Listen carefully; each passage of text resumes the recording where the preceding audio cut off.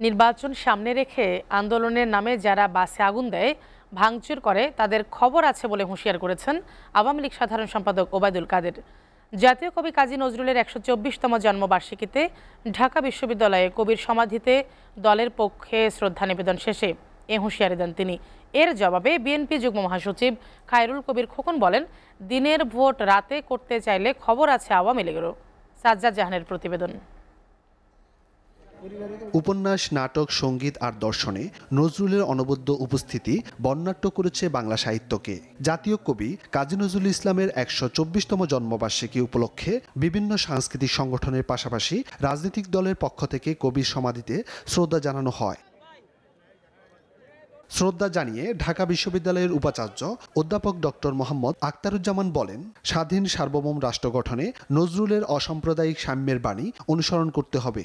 যে প্রথম কাব্যগ্রন্থটি প্রকাশ করেন সেটি মূলত তাকে অনবদ্যভাবে এই সারা পৃথিবীতে মানবতার মুক্তির দূত হিসাবে এবং একজন সাম্যের কবি ভালোবাসার কবি আহ, অসাম্প্রদায়িকতার কবি মানবতার কবি হিসাবে গভীরভাবে খ্যাতি দিয়েছে। জাতীয় কবির নাতনি খিলখিল কাজী বলেন নজরুল আজীবন মানুষের জয়গান গেয়েছেন। সবাইকে ঐক্যবদ্ধ করতে চেয়েছিলেন। তিনি যদি লেখার ক্ষমতা না হারিয়ে ফেলতেন তাহলে আমরা বোধহয় আরও ক্ষুরোদার লেখা পেতাম এবং আজকের সমাজ ব্যবস্থা আজকের পৃথিবীতে যে জাতিগত লড়াই লেগেই চলেছে বিভেদের সৃষ্টি হচ্ছে সেগুলো কাজী নজরুল বেঁচে থাকলে হতো না। দলের পক্ষে শ্রদ্ধা নিবেদন শেষে আওয়ামী লীগ সাধারণ সম্পাদক ওবায়দুল কাদের বলেন সরকার আগামী সংসদ নির্বাচন অবাধ ও নিরপেক্ষ করতে চায়। যারা বাধা দেবে তাদের প্রতিহত করা হবে। আন্দোলনের নামে নির্বাচনকে সামনে রেখে বাসে আগুন দেয়, বাস ভাঙচুর করে।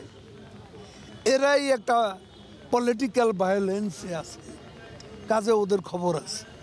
বিএনপির পক্ষ থেকে শ্রদ্ধা জানানোর পর যুগ্ম মহাসচিব খায়রুল কবির খোকন বলেন, বাংলাদেশের নির্বাচন বাধাহীন করতে যুক্তরাষ্ট্র নতুন বিচার নীতি দিয়েছে, যা জাতির জন্য লজ্জাজনক। সুশীল সমাজের দাবি, বুদ্ধিজীবীদের দাবি, গোটা পৃথিবীর দাবি, তাই জনগণের দাবি, সেই দাবিকে উপেক্ষা করে যে তারা গায়ের জোরে আবার একতরফা একটি নির্বাচন আবার অনুষ্ঠিত করতে চায়, তাহলে জনগণেরা জনগণ হয়তো প্রতিরোধ করবে, জনগণ রাস্তায় নেমে আসবে।